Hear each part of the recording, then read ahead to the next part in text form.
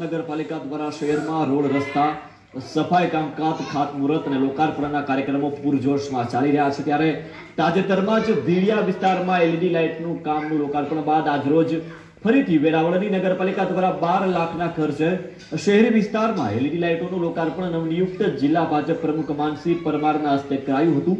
ત્યારે વેરાવળમાં ખૂબ જ જરૂરિયાતવાળા વિસ્તારમાં લાઇટો નખાતા સ્થાનિકોમાં આનંદની લાગણી જોવા મળી હતી.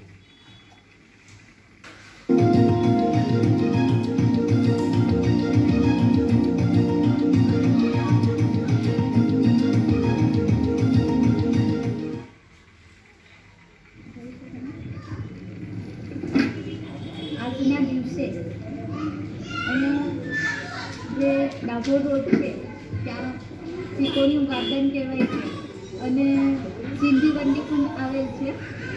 ત્યાં બાર લાખના ખર્ચે એલઈડી લાઇટનું આયોજન કરેલ છે.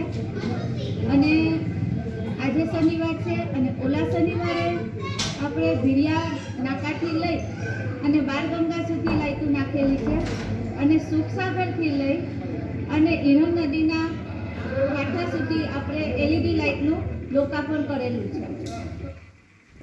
રાજકોટમાં